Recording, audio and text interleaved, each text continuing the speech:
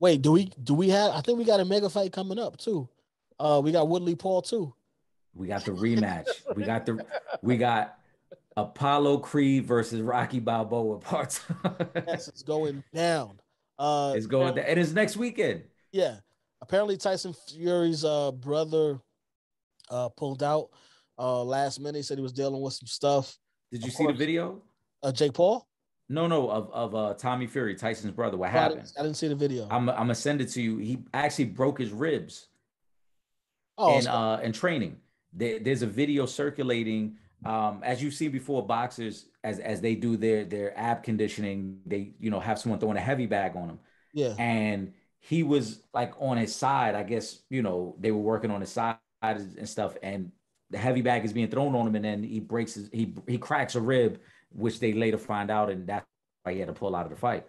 Oh man, see this. I mean, not that I really, because I really could care less about Jake Paul. I'm, I'm looking forward to him getting his ass whooped. But the fact, the fact that he was talking so crazy, uh, you know, about Tommy, it was like, like he was ducking you, so to speak. You know what I mean? Like the way he was talking was like he just was like, "Nah, I'm scared. I don't want to fight this kid no more." He got That's how sounded. No, he got cracked ribs, man. It, it was a, it was a freak accident in training um, and during his conditioning, he cracks his ribs. Okay, because he's like, yeah, because this is going to be the biggest payday and blah blah blah, and they just, I just and I'm like, it's, and it sounds fishy to me when I'm listening to this kid speak, but I'm just like, all right, whatever, because I wanted to see, you know, the rematch with him versus Woodley anyway. Um, now he's, according to to to Jake, in his in his uh video that he posted up, apparently Tyron Woodley has been training he has been in training.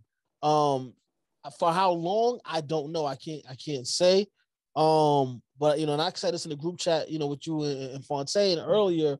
You know, I just thought when I when I seen he he was gonna fight Woodley, I'm just like, oh, he's trying to he trying to get get one up. He's trying to get the edge on him. You know, because training and training for a fight is two different things. Now, was he still in working out and boxing? Probably could have been, but was he training for a fight?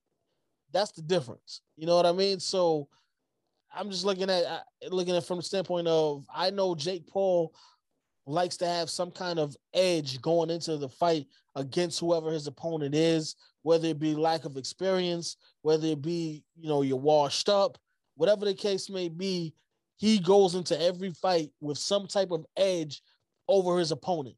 And when I when I saw that, the first thing that came to my mind is I hope that Tyron Woodley is still in, in in some type of fighting shape, but I just I don't believe that if you, because if you're not planning on fighting, are you are you doing five a week, five days a week training?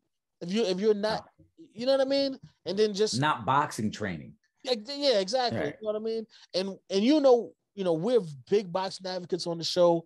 Uh, big shout out to Rington, New York. We are friends of a lot of professional boxers.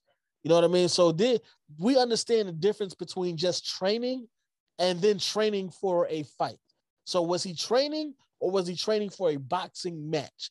That's the question. Because if he wasn't, then obviously, you know, Jake Paul, we know he's been training for a boxing fight. So realistically, you know, for him, I'm already in the groove of training.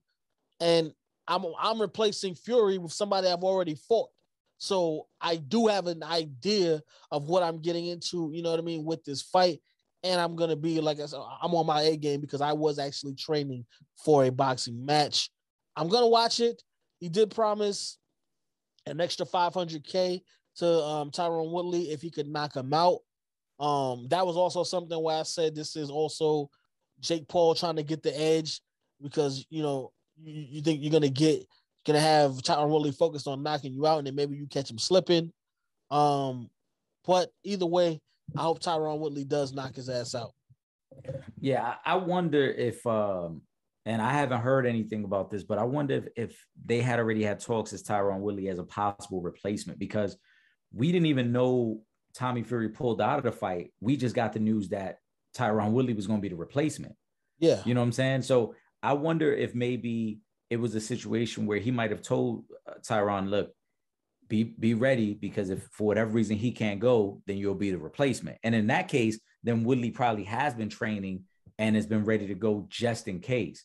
Because most times when we hear about a fighter having to pull out of a fight, we don't get the replacement the same day. We normally get the replacement a couple days or a week later when but they even, can work out.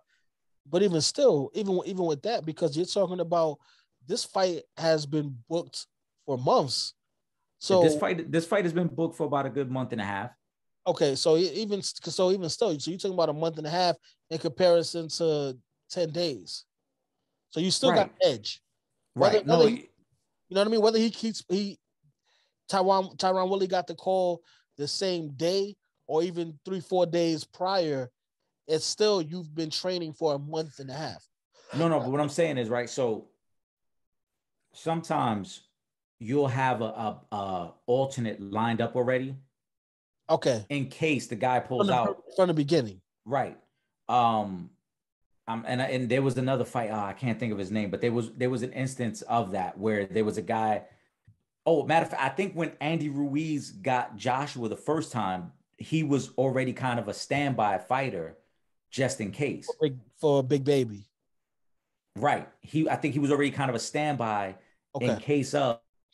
And a lot of times that's done because you know the venue's already booked, tickets, pay per views already start selling, so we can't change the date. We want to try to keep the date. So I don't know. I, I don't know this to be fact. I'm not saying that Woodley all this time has been preparing as if he's going to fight.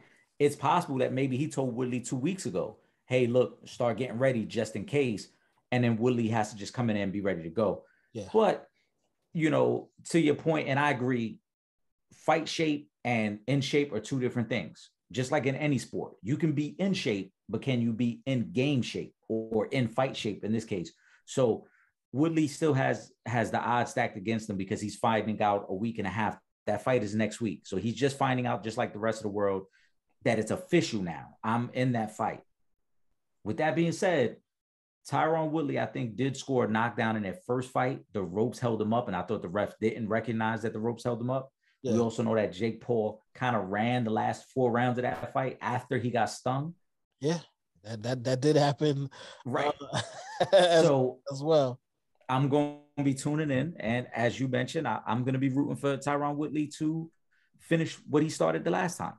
Yeah, I, listen, I, I, hope so. It's about it's about that time. I'm, I'm, I'm tired of all this uh, Jake Paul uh, talk, you know. So this is your African King of Comedy, Michael Blackson. You watching real friends, real talk. Get real with it, my son. Uh huh.